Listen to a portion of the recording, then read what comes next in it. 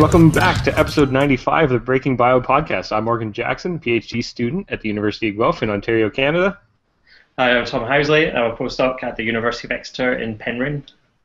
And uh, yeah, like we're going to start calling this a season when we take these uh, unexpected breaks of two months. Uh, that, that's how show business works. They have seasons, and so do we at Breaking Bio. So welcome to season X. Uh, back we're back. So that's the only thing that matters. And we've got a whole bunch of new guests lined up again, and uh, we're refreshed and recharged and, and ready to talk all sorts of biology with, with new and exciting people. People like Dr. Kirsty MacLeod, who is our guest this week, and who is also a postdoctoral research associate at the University of Cambridge. Welcome, Kirsty. Thanks a lot for joining us. Yeah, no problem. Great to be here. Uh, can you explain a little bit about what you do and, and what your interests are in biology and academia and everything else? Yeah, sure. So um, I started out working on meerkats, um, also at the University of Cambridge, is where I did my PhD. So um, that kind of that got me really interested in uh, parental care behavior as well as alloparental care behavior, which is what meerkats are mostly known for, where helpers help the dominant pair to rear their offspring. Uh, and I've, I've since kind of moved on to look more at how parents vary in how much they invest in their young, and that's kind of become my real core research interest. So, how the environment varies, particularly what mothers invest in their offspring. So that's that's what I'm working on at the moment uh, in the hihi, or also known as the stitchbird, which is a, a bird from New Zealand, very endangered bird.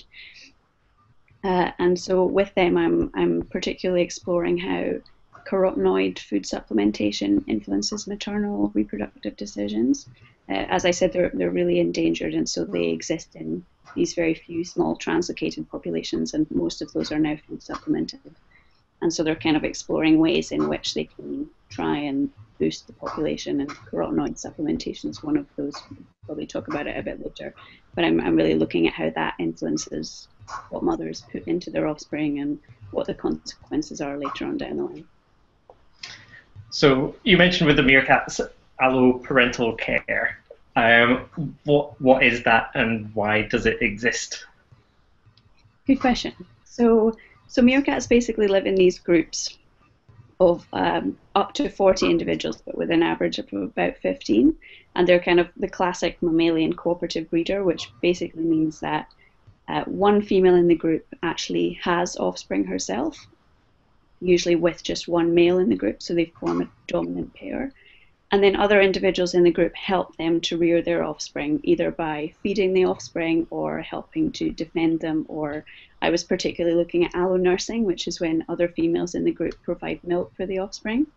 So cooperative breeding, so which is when you have this alloparental care, when helpers are helping to rear the offspring of a dominant pair or just a sort of central pair uh, is, is pretty common in, in mammals and also in birds and in some fish as well. It's actually pretty common across a, a number of taxa.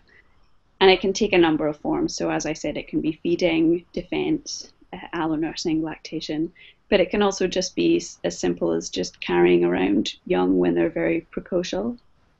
Uh, altricial, sorry, I mean, so in primates, for, for example, that's kind of the main form that it takes.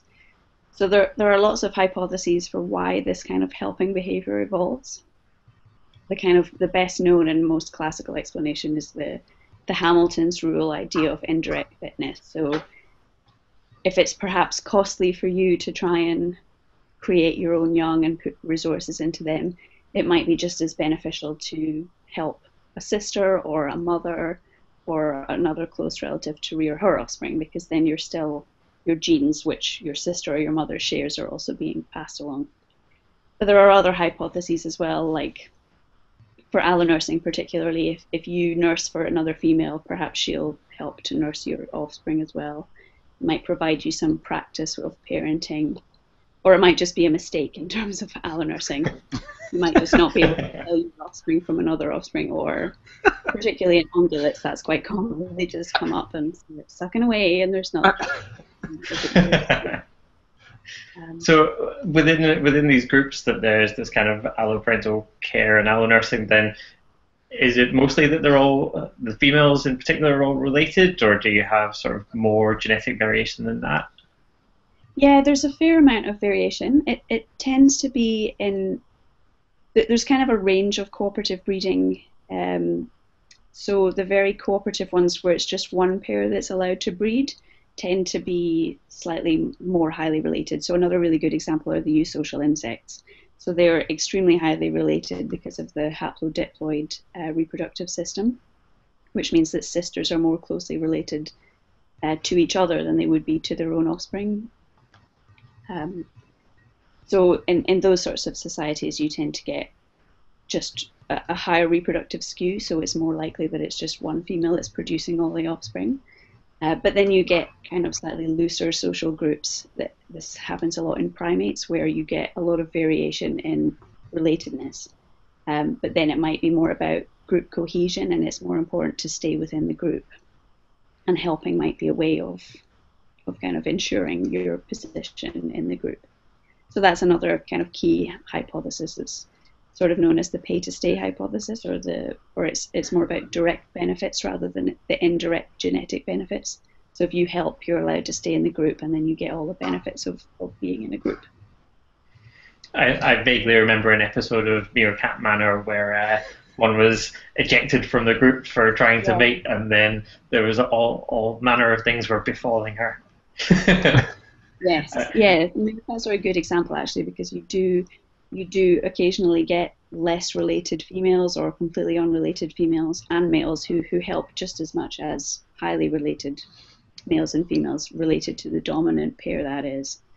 So they're they're a particularly extreme example where if you're separated from the group or if you're kicked out from the group, which as you said does it happens as a kind of mode of reproductive suppression by the dominant pair, then the chances of survival are so low that it's not really worth trying to reproduce yourself. It's better just to kind of toe the line. So, for for the people who haven't been uh, lucky enough to follow along with your bio tweets, tweeting this week and seeing all your pictures, um, how do you actually study the meerkats in the wild? So, the the field site where we where we conduct all the meerkat research is in the Northern Cape area of South Africa which is a, really fantastic region. South Africa is just hugely varied anyway, but the Northern Cape is, is this kind of fantastic Kalahari desert landscape, uh, the kind of typical red sand pictures that you see. It's, re- it's really beautiful. So the field site there has been run by my PhD supervisor, Tim Clutton-Brock, for about 20 years now. Uh, and he spent probably about the first five years of that time just habituating groups which has really been the key to to the success of the Meerkat system and absolutely necessary for all the work that we've done there. Uh, because it, it means that if you've seen any of the pictures on Twitter, you can basically be covered in meerkats and they're not paying you any attention. They're just kind of carrying on with their natural behavior, which is really amazing and it makes it a lot of fun to study them. So I, I went out for a couple of field seasons there of about four months each time. Uh, and you can um, you can follow the group and observe their behavior, and the dominant female in each group is sort of the most stable member of that group because she's obviously not going to disperse when she has the resources of all these helpers. So she's the one that has a a radio tracking collar on, which we're able to follow um, with radio telemetry. So we can go out, find the groups, and then follow them for a whole day if we want to. And yeah, just observe their behaviors they've been trained trained is the wrong word because they still are wild and they do their natural behaviors, but they will jump onto a scale in return for a small reward of water or egg. So that's that's actually really quite special about this system. It's it's very hard to weigh wild animals, especially on a regular basis, and, and there they've managed to get this system where you can get weights three mornings a week, three evenings a week, and so you really can track the, the growth of individuals right from birth to death, um, and that's a that's a pretty makes this system pretty special. that that's I didn't realize that the meerkats were were you know lining up to get on the scales for a treat. That that's, yeah. that's pretty amazing. yeah, I think um, uh, getting them to like hard-boiled egg was also basically crucial to the success of the meerkat project because they love hard boiled egg. it's sometimes harder to get them out of the scales than it can be to get them in. that was the skill I learned in my PhD actually. That's crazy. Have I mean that, that that begs the question: Have you seen um, them raiding like wild bird nests to get to egg now that they've developed a, a taste for it, but without the scale? Yeah, that's that's quite that's quite interesting. I'm not I'm not sure. Um, I think Tim initially tried to give them uncooked egg actually because he thought that that might be more uh, sort of familiar to them or relevant to their like potential prey, but that didn't seem to that didn't seem to work. So I haven't seen them go for eggs. Um, I've seen them eat some pretty weird things though. like they can uh, like it's like a frog that basically lives in the sand, and it it rains very little there, so it was very surprising to see an amphibian at all. But it, it's like an almost spherical frog, and so I think that was one of the weirdest things I've seen them eat. Is that the one that screams when it gets annoyed? I don't know. This one must have been past the stage of being annoyed. Just straight to dead. That's crazy. Um, I like that the meerkats have got standards and will only deal with, yeah. with properly cooked egg. Uh, that's uh, that's impressive stuff. a record bag of hard-boiled egg from a meerkat is. Crafty little bastards. Um, uh, so that's really cool. So this allo nursing that you're talking about and studying is essentially um, the wild equivalent of, of what humans back in the day and maybe still do in some situations, but the, the practice of wet nursing, correct? Where you know yes. a, a, female is is actually lactating. Are are the females giving birth to their own offspring and then nursing somebody else's, or are they lactating without the birthing process? Yeah, so I my understanding is that it's a bit of a mix of both. Um, unfortunately, we can only really tell if a female meerkat's pregnant uh, when she's about halfway through gestation because they don't really show any any weight gain until that point, possibly as a means of kind of sneaking it past the dominant female. So as as Tom alluded to before, Meerkat Manor teaches us so much.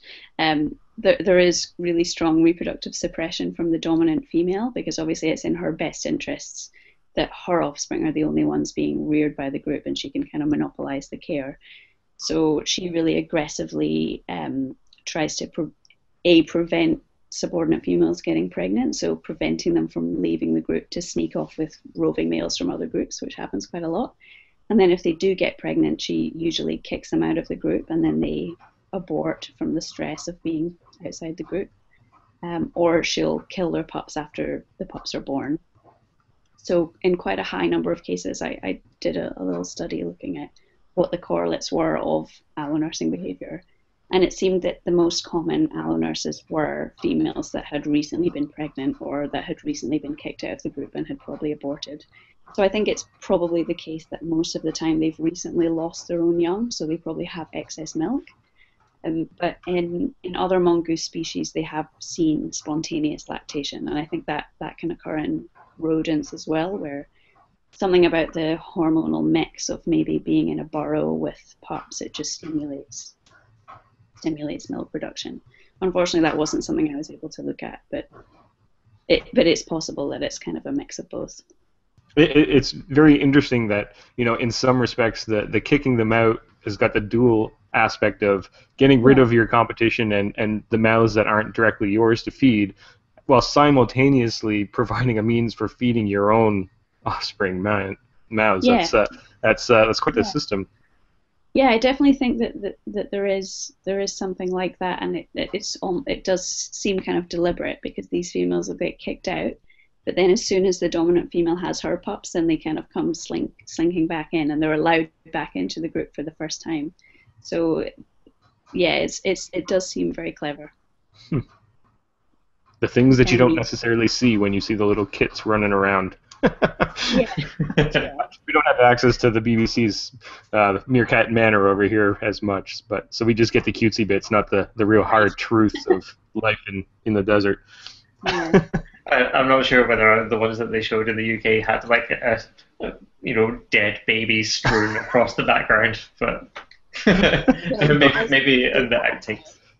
yeah, like blood dripping from the mouths and the dead pups, and but I've seen that. That's the truth. yeah, don't go to the basement of Meerkat Manor. That's that's what I'm learning. okay, maybe before we entirely ruin meerkats for uh, anyone watching, then uh, we should we should move on to your, your current work. So looking at uh, the hihis, right? Um, so what exactly? Like you spoke about it briefly at the start, uh, using diet. So what are you looking at exactly? Yeah, so I I've been particularly interested in this uh, supplementation regime that they've been kind of doing on and off. So this this particular population that my my current supervisor Rose Thorogood mainly works on and has worked on, she worked on it for her PhD and helped to set it up, uh, is a translocated population of hihi on Tiritiri Matangi Island, which is just off Auckland. So it's a really interesting population for lots of reasons, basically. So it's it's reintroduced. So there's the whole aspect of looking at how the population dynamics change over the course of a reintroduction uh, they have a really interesting uh, breeding biology. So one of the facts that people liked a lot on biotweets today was that they're, I think, the only bird that, that has face-to-face copulations. uh, and so it, it means that males can actually force females into copulations, which I think is also pretty unique in the bird world. So there's lots of extra pair paternity, which of course is common across birds, but it's possibly one of the few species where the extra pair paternity is not sought out by the females. It's actually very much resisted by the females. So they're really interesting in that regard as well. And there, there's a lot of inbreeding, obviously, as, as is the case with lots of small t- translocated populations. Um, so in an effort to, to boost these populations, they they're supplementarily supplementarily feed, fed. um, they kind of look like hummingbird feeders. They're the birds themselves, I should probably kind of describe them. They're they they look kind of like a thrush, I guess, or or they they look like a honey eater basically, and and they have that kind of bill and and they they're nectar feeders, so so they get fed sugar water as the supplementary uh, food. Um, just just uh, so we're totally clear, when you said face-to-face copulation, are we talking missionary position or? yeah, classic missionary, nothing too weird. The oh, male can nice. the female down with his wings. Less nice. Yeah, yeah. creepy missionary. I think we'll see. Have you been just thinking about that the whole time I've been talking about supplementary feeding? Basically, yes. I would be surprised. I just wanted to make sure that I had this image uh, really clear. Yeah, All right, you, you may continue. um, yeah, so as well as the sugar water supplementation, uh, they've sort of uh, toyed with the idea of giving them extra extra things in their food that might be particularly good for their immune system. They're quite heavily parasitized by mites, as also is the case with lots of small birds. Uh, and just anything that might be a bit of a boost. So they, they did this uh, carotenoid supplementation experiment. So carotenoids are basically antioxidant pigments that plants synthesize, and uh, they're kind, they're taken up in in the diet, and they're really important for things like plumage coloration. And they're what make egg yolks yellow. They have this whole raft of positive effects on the immune system. Uh, I read an article today. Apparently, they're kind of being explored as as having cancer fighting properties even in humans. So they're kind of this sort of super group of of, um, of pigments. Uh, and they're, they can be readily put into sugar water and used in supplementation experiments. Uh, so the team that that mostly do the, the hihi research, which is it's sort of led by John Ewen, who's at IOZ at uh, the Zoological Society of London. They did these carotenoid supplementation experiments about 10 years ago, actually, when Rose was doing her PhD. And uh, they looked at the effects that they had on chick mass and growth and things like that then. But Rose had also noticed that they have uh, brood hierarchies and they weren't really sure what was generating them. And, and I was interested in seeing, because we know that carotenoids can compensate for the effects of natural stressors. So they do compensate, for example, for if, if a chick has mites, but it's got carotenoid supplementation, then they tend to reach the same mass, for example, as as other chicks that don't have mites. Uh, so I was interested in in how um, mothers might try and compensate for stressful conditions by maybe boosting carotenoids in their eggs. So I, have been using this carotenoid uh, experiment data to kind of try and answer or test those sorts of ideas by looking at brood at looking at these brood hierarchies, which is kind of it establishes a sort of natural gradient of stress within a brood. Um, so brood hierarchies, I'm sure most of most of the people who listen to the podcast will know, but it's basically when you get a size hierarchy within a within a within a nest. So one chick might hatch first and be bigger than the others, and, and then there's a kind of gradient, or the first egg might have more resources and then it ends up producing a bigger chick, or it doesn't really matter how it how it's generated, but it kind of creates this gradient of stress because the whether it's the last hatch one or just the kind of runty egg ends up losing out in competition. So I've been interested in whether carotenoids mitigate those negative effects. And that's something that we'll hopefully be publishing soon. Cool. Uh, and I was, um, I've also been interested in, I, I kind of spoke a little bit about how carotenoids are important in yellow plumage coloration.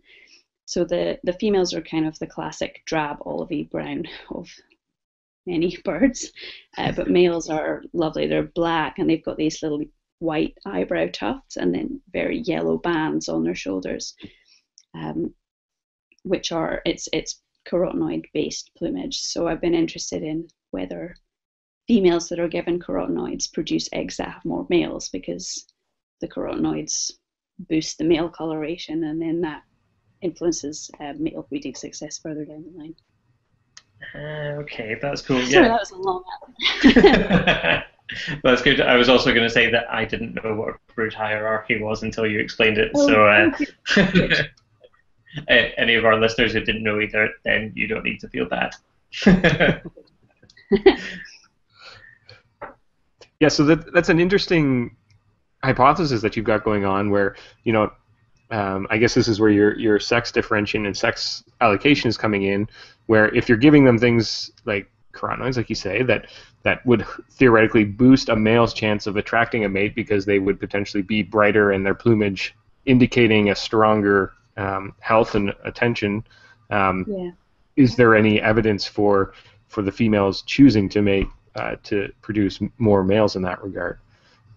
Um, yeah, so that's yeah that that's kind of what I've been looking at so far. It doesn't look like there is any sex ratio bias. Um, yeah, I did a, a sex ratio variation paper on the meerkats as well, which also showed zero bias. So it's kind of becoming a trend through my career. uh, well, you can just say that you're unbiased at all times. That, that's not yeah. such a bad thing. I don't discriminate.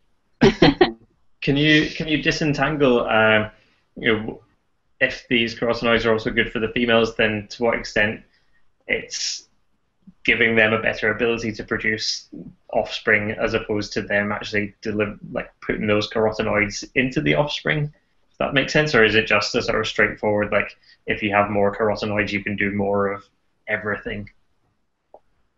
Um, yeah, so in, in zebra finches, for example, they, they have shown that it's it's kind of a similar deal that carotenoids boost male coloration but don't really boost female coloration or success and and there they have shown that females produce more males.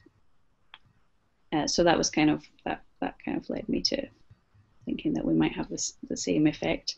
But it's it's also possible. I mean, in goldfinches, they've also shown that female coloration is it might not be as important in sexual selection, but it's just as important in uh, maintaining your territory, for example. Mm-hmm. So it might be that actually they benefit females just as much, or in, in other in other ways, as you were saying, it might just make these sort of super females who are also more able to produce better offspring later down the line.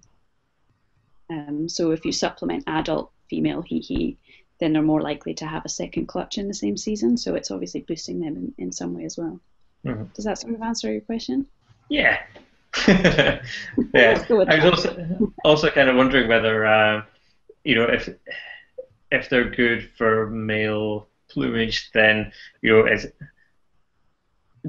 like how how much carotenoids? Do you have any idea of like what's a sort of you know a small amount and what's a large amount? Is it best to create sort of one like male offspring who's just the yellowest little bastard you've ever seen? yeah, and actually, um, Leila Walker did some some nice work, kind of trying to disentangle what aspects of male coloration are actually important as well. So it seems that the little yellow eyebrows are what the females really like, and the the yellow bars are actually more to do with um, to do with territory acquisition and kind of scaring off other males.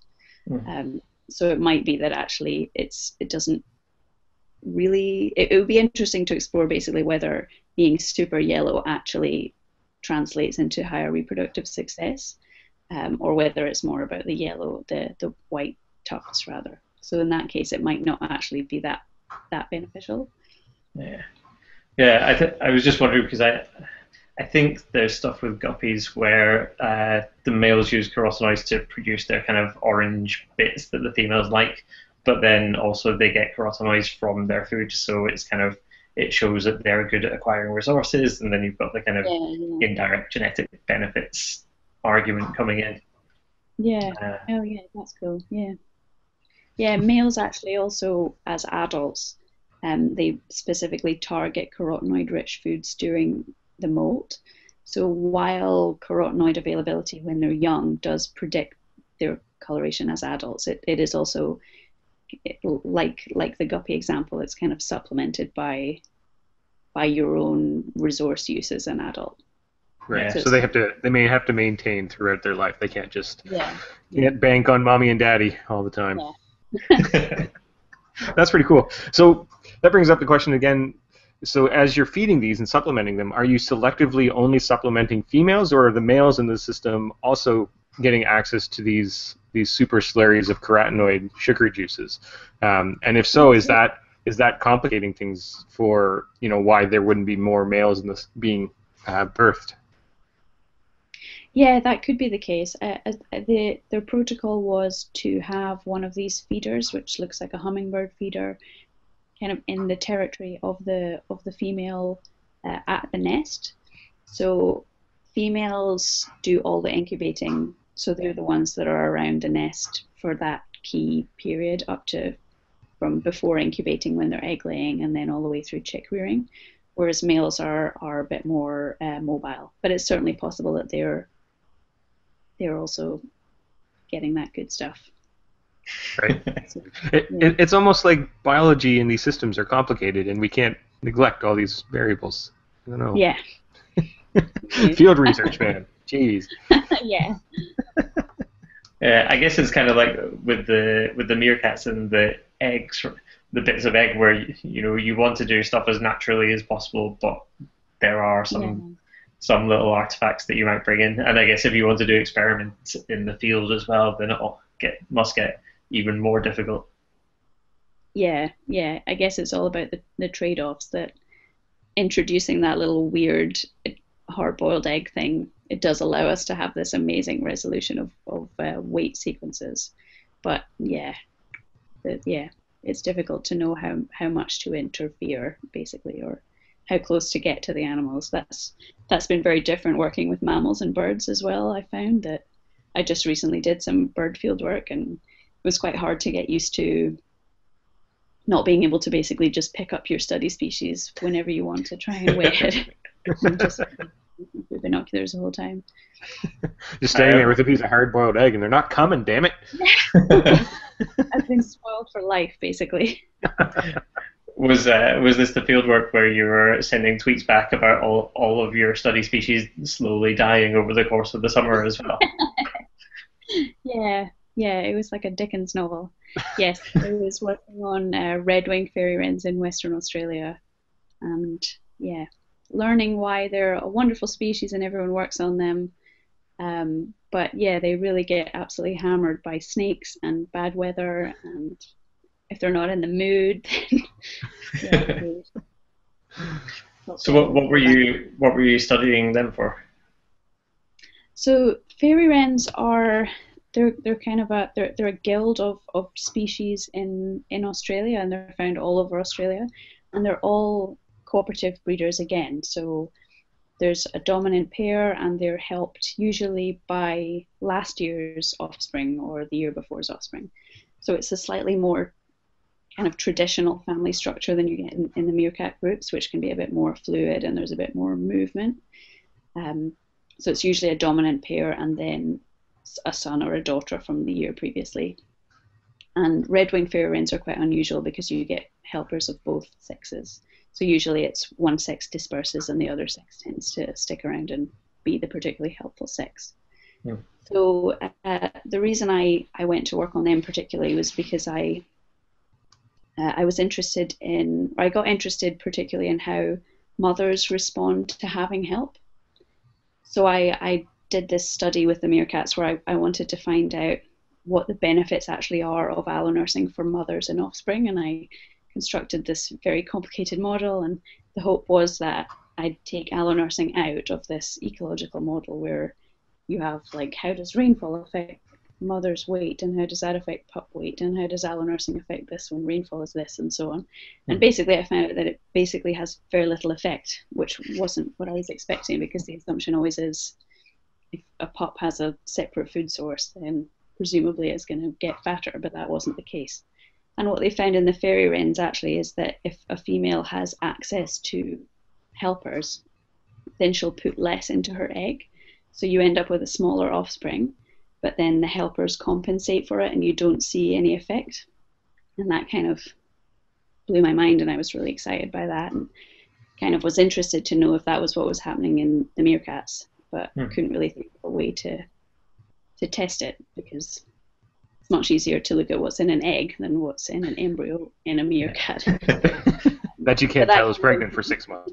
Yeah, there are ethics issues.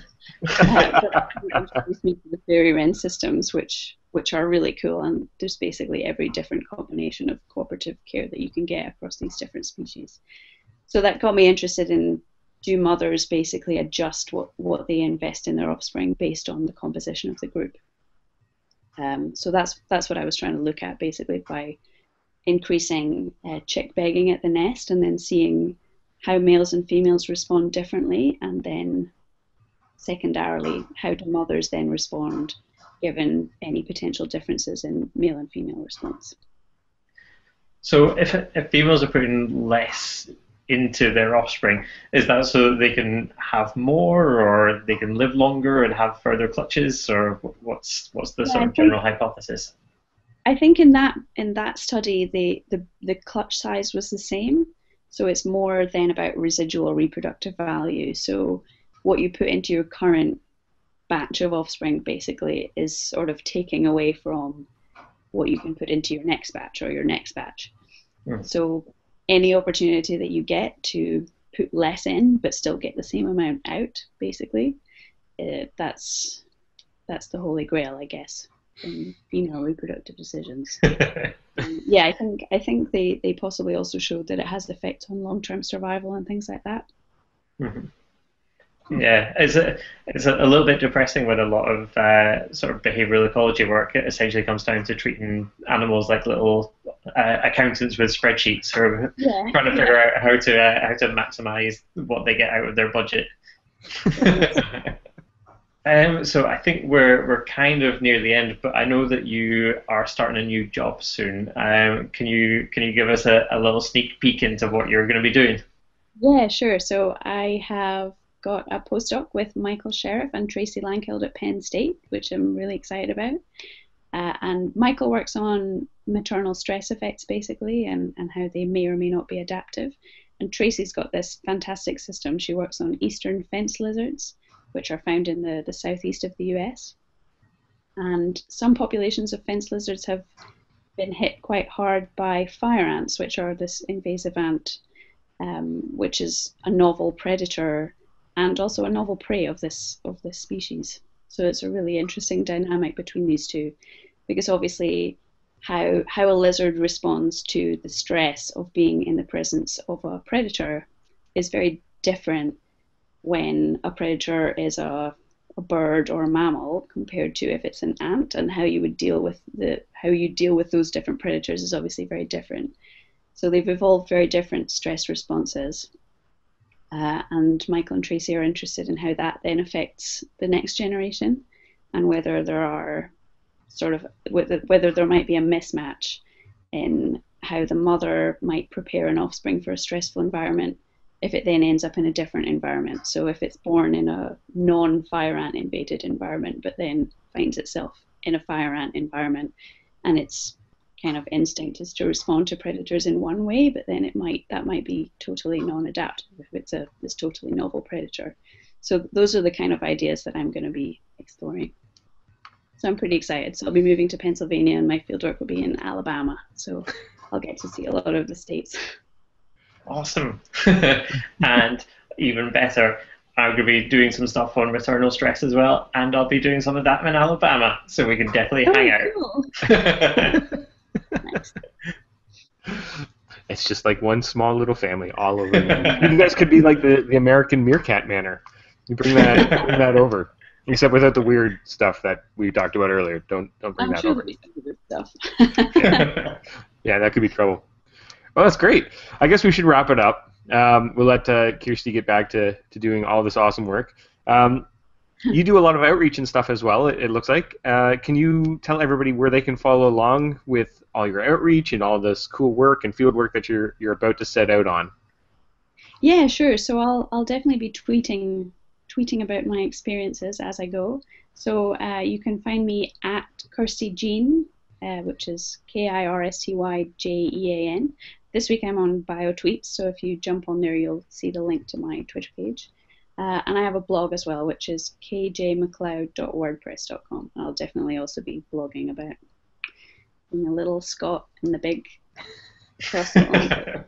yeah, I'll definitely be posting posting there. Awesome, that's great. And uh, of course, like usual, we'll have uh, links to all of Kirsty's sites and, and social media feeds um, on our website with this episode, which is at breakingbio.com.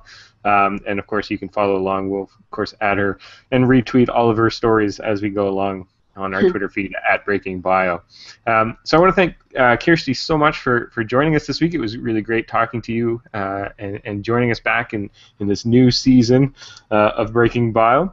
And for everybody listening at home, reminding, like we said, you can find us on Twitter at Breaking Bio. Our website is breakingbio.com. We are on Facebook at facebook.com slash the Breaking Bio podcast. But we also need to thank the European Society for Evolutionary Biology, who provides us with some money to keep this thing going. So I think that's it for episode 95. Everybody, I hope you'll join us next week when we have a new guest, and it won't be two months this time. It'll be actually next week for reals.